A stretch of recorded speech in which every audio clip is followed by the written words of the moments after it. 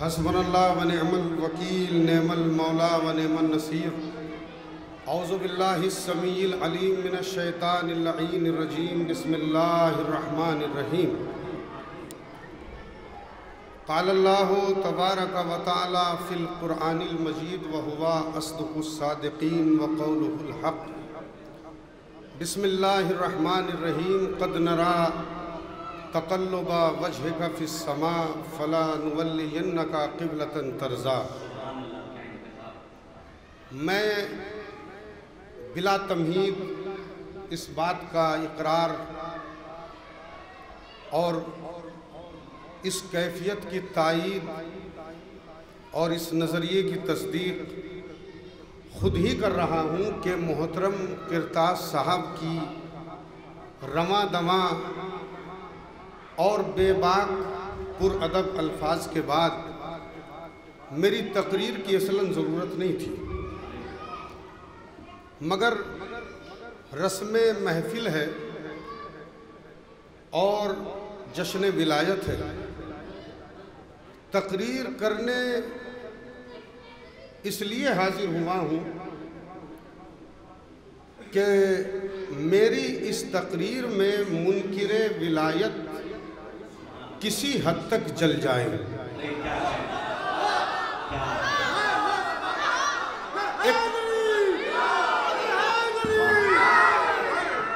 इसलिए जुमला यहीं से पढ़ के आगे बढ़ूँगा कि मुझे नहीं पता कि ऐलान विलायत और जश्न विलायत से किसे इख्तलाफ है।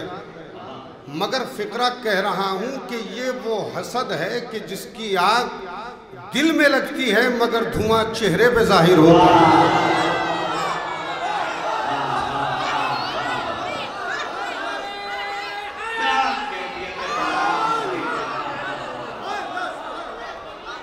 और एक फिक्रा और सुन लीजिए, मैंने जिस आयत को तिलावत किया, देखिए तबीयत नासाज है, अजा खाने में ये अल्फाज कह रहा हूँ, मेरे गले में इन्फेक्शन है, मेरे बिरादरान, मेरे भाई सब जानते हैं। जिन हालों था हाजिर हो गया, अब यहाँ से नशत फ़िक्र है, यहाँ से मनशा ज़हूर है। किरदास भाई, कि मैंने कुरान मजीद की जिस आयत को तिलावत किया, उसका ताल्लुक विलायत से है। और फ़िक्रा सुनिएगा कि कैफियत एलान विलायत की हो या जश्न विलायत की हो, जगह बदलती है, मिजाज नहीं बदला करते। गदीर में कैफियत ये थी कि जिब्राइल आयत ले के उतरे, रसूल खुतबा दे के उतरे, अली मौला बन के उतरे, कुछ लोगों के चेहरे उतरे। ऐलान विलायत बड़ा अजीब मरहला है और इस्लाम की ज़रूरत है। और यहाँ तसलसल देखिएगा कि तिलावत इलाहिया के बाद कलेमात इलाहिया के बाद यहाँ एक विलायत से मुतालिक थोड़ी सी तकरीर है। उसके बाद मोहतरम वक़ार भाई नात पढ़ेंगे। कुरान हकीम की मशहूर तरीन आयत है कि पैगंबर तुम्हारा बार बार आसमानों की तरफ़ इजतराबी कैफियतों में देखना। हम जानते हैं कि तुम क्या चाहते हो। हम उसी को मौला बनाएँगे जिसे तू चाह तुम चाहते हो। ये हुक्म इलाही है, ये आयत करीमा है, जो कुरान मजीद में अल्लाह ने नाजिल की है। इसलिए कि बैतुलमुक़द्दस की तरफ़ रुख कर के मुँह कर के इबादत करना, मुसलमानों का बैतुलमुक़द्दस की तरफ़ इबादत करना, ये लोगों के लिए तकलीफ़ का सबब था। इसलिए कि यहूदी ताना दिया करते थे। तो आयत नाजिल हुई कि हम उसी को किबला बनाएँगे जिसे तुम चाहते हो। और ज़ाहिर है कि दो मरहले हैं। एक रज़ा इलाही का मसला है और एक मसला पैगंबर इस्लाम की रज़ा का है। यानी अल्लाह ये चाहता है कि मेरा महबूब राज़ी हो जाए और पैगंबर ये चाहते हैं कि मेरा अल्लाह राज़ी हो जाए। कमाल ये है कि आदम ने फ़र्श आदमियत को उस्तवार किया नूह कश्ती नजात बनाई इब्राहिम ने शोलगी शोलगी में शबनमियत का हुनर उजागर किया। मूसा हैबतों को लेके आए, ईसा ने जहद का एक पैगाम दिया और गैबत में चले गए, मगर कमाल ये है कि हर नबी की काविशें अपनी जगह हर नबी की मेहनतें अपनी जगह, मगर पैगंबर ने किसी को अपनी मर्ज़ी का परवाना नहीं दिया। अम्बिया कोशिश करते रहे, मगर उसने अपनी रज़ा का परवाना नहीं दिया।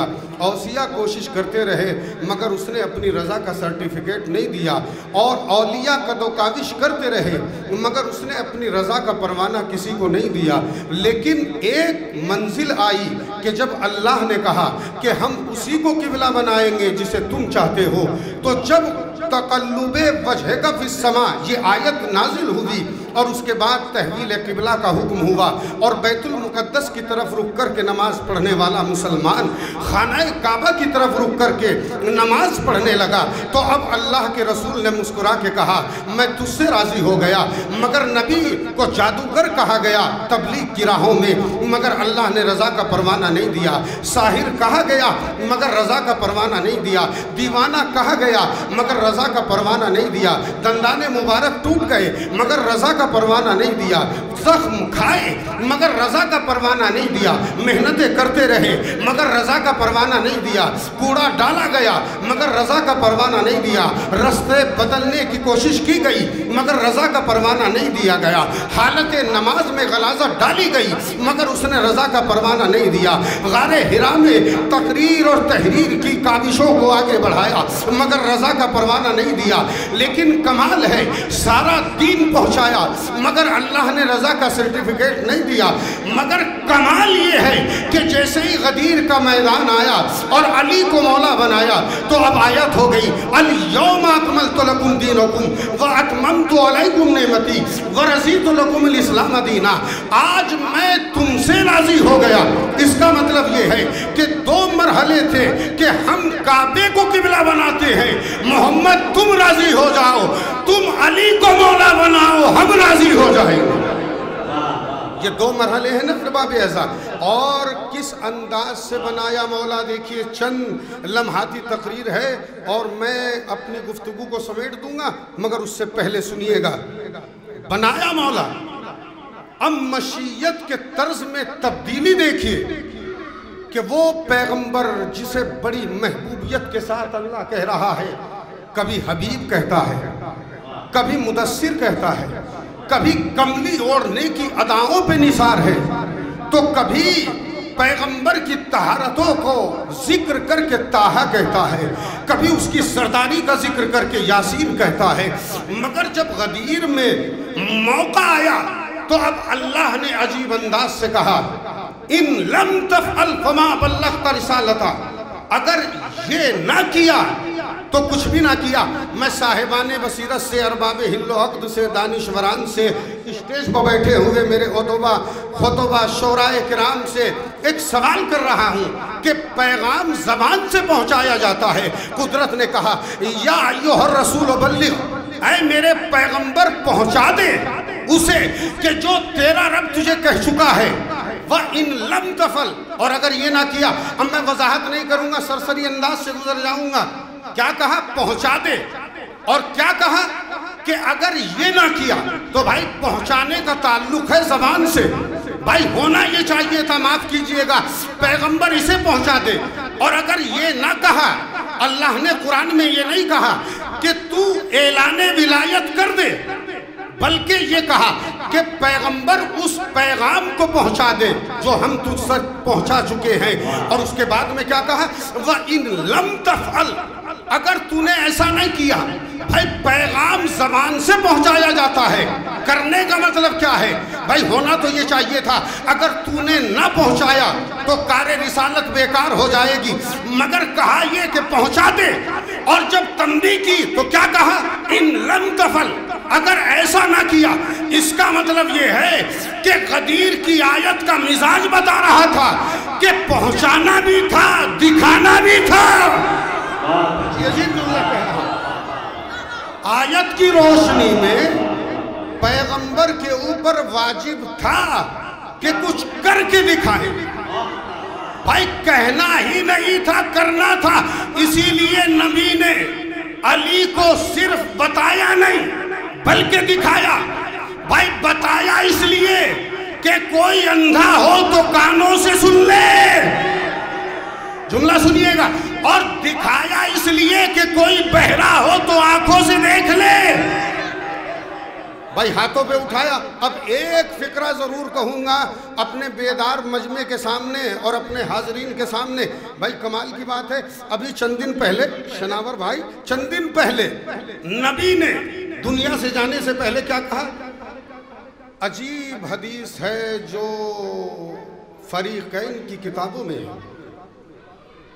क्या जुमले हैं? मैं तुम्हारे दरमियान दो गरा कद्र चीज़ें छोड़े जा रहा हूँ।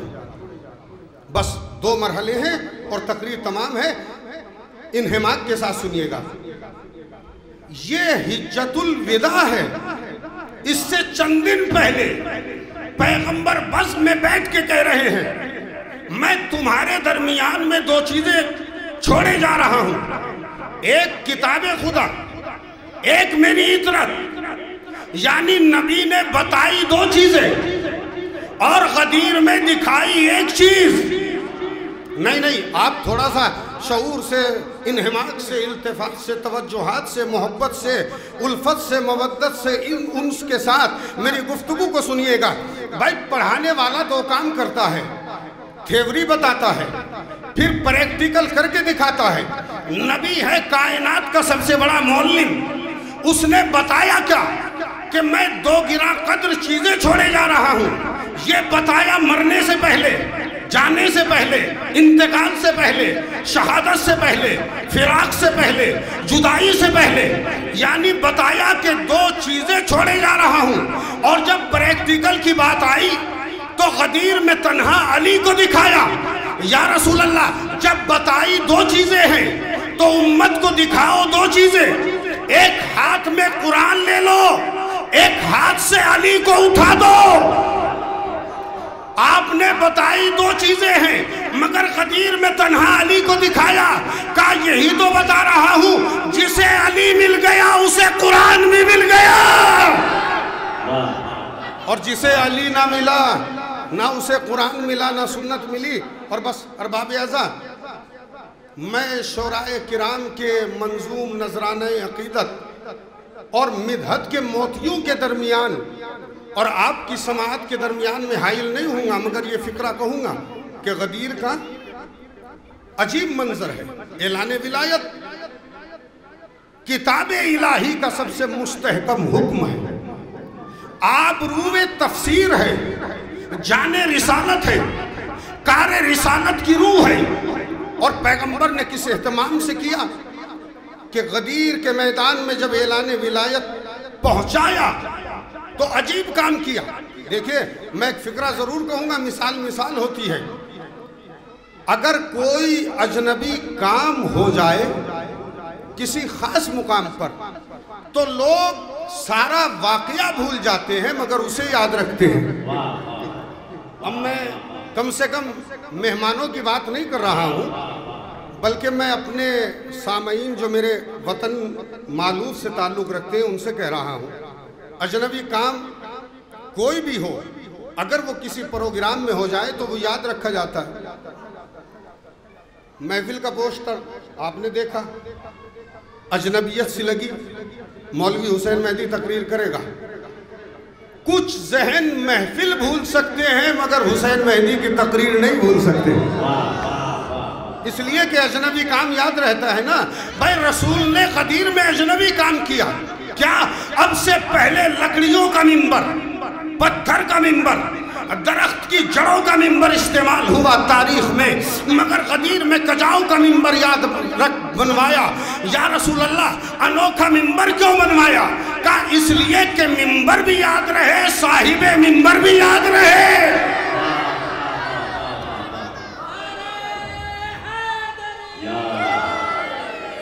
ताकि मिंबर भी याद रहे, साहिब मंबर भी याद रहे।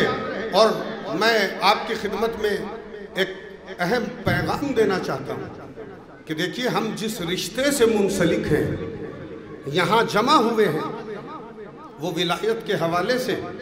देखिए, मुझे कुछ सामीन ऐसे महसूस हो रहे हैं कि मेरे अल्फाज से मुझसे ज़्यादा ख़तरा उन्हें है। आप घबराइए नहीं तकरीर रिकॉर्ड है, मैं अपने जुमले का जिम्मेदार हूँ। मरहूम सरकार शहजादा खिताबत, सरकार मेहदी साहब एक जुमला कहा करते थे। मैं तो उनकी जूतियों के गर्द के बराबर नहीं हूँ कि मैं जो कहूँ, उसका जिम्मेदार हूँ। आप जो समझे, उसका जिम्मेदार नहीं हूँ। लिहाजा मेरी तकरीर के जुमलों को आप बहुत अच्छी समात के साथ सुनिएगा। और रहा मेरे हौसले की बात तो फिक्रा कह रहा हूँ, और शेर व सुखन के माहौल में मेरे मिसरों की क्या कीमत है कि लब कुशा हूँ मैं इस यकीन के साथ। किबला पूरी तकरीर में, पूरी महफिल में सिर्फ़ एक शेर पढ़ूँगा लब कुशा हूँ मैं इस यकीन के साथ। कत्ल होने का हौसला है मुझे। एलाने विलायत, एक अहम पैगाम है। एक दीन की ज़रूरत है। और मैं सरकार इमाम हसन अस्करी सलात वसलाम का एक फिक्रा दहने इसमत से निकला हुआ अजीब व गरीब मोती आपकी खिदमत में पेश करके अख्तामी मरहलों में और नाजिम मोहतरम के हवाले महफिल कर रहा हूँ कि विलायत इतना अजीम तोहफा है हमारे शीयों के लिए कि अगर हमारी विलायत की सही मार्फत उन्हें हो जाए तो वो बहते हुए समंदरों पे सफ़र करने लगे। बसरबाब अज़ा, इस हदीस के साथ मैं दुआ गो हूँ कि खुदा खुदावंद करीम शराय कराम को सामीन कराम को मेहमान कराम को वाबस्ता विलायत रखे और हमारा ख़ात्मा विलायत पर हो। हमें हश्र के दिन विलायत पे उठाया जाए और हमें इस अंदाज से महशूर किया जाए कि हम अली के विलायत वालों में शुमार हो। हमारा शुमार अली से मोहब्बत करने वाले वालों में हो। बस अरबाब अज़ा मैं इन्हीं अल्फाज के साथ, ख़त्म दुआ के साथ, बानियान मजलिस मोमिन मानियान महफिल शुरकाय महफिल और अपने वतन के तमाम मोमिन की जानब से आने वाले मेहमानों का शुक्रिया अदा करता हूँ शोरा कराम का शुक्रिया अदा करता हूँ, और महफिल को नाजिम मोहतरम के हवाले करता हूँ। व आखिर दामाना अनिल हमदिल्ला रबीआलमी